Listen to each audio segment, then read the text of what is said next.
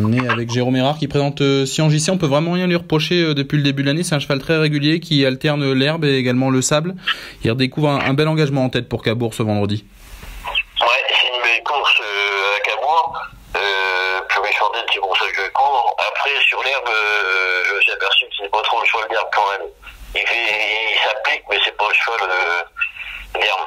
Après, Cabourg, c'est un bon profil de piste pour lui.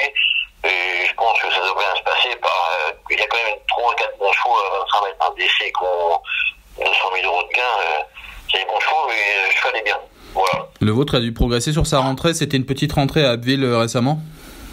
Bah, lui, il a été chanceux, il a accroché en partant, et en face, il, il a plié la roue. Alors, euh, voilà, il a fait la course comme ça, mais il n'a pas été chanceux du tout. Non, mais il devait être euh, en plus un petit peu à court de conditions. On l'avait pas vu pendant six semaines.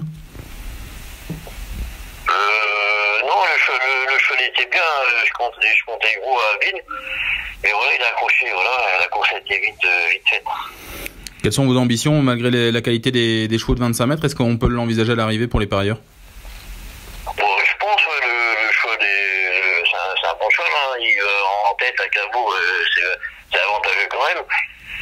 Si les chevaux euh, de 25 mètres euh, sont chanceux, bah forcément, ils, ont une place un peu plus que les nôtres en tête, mais à Cabourg, c'est pas évident à 25 mètres. Donc, euh, un cheval comme Sion qui est bois et, et maniable euh, a une bonne chance quand même d'être dans les trous, je pense.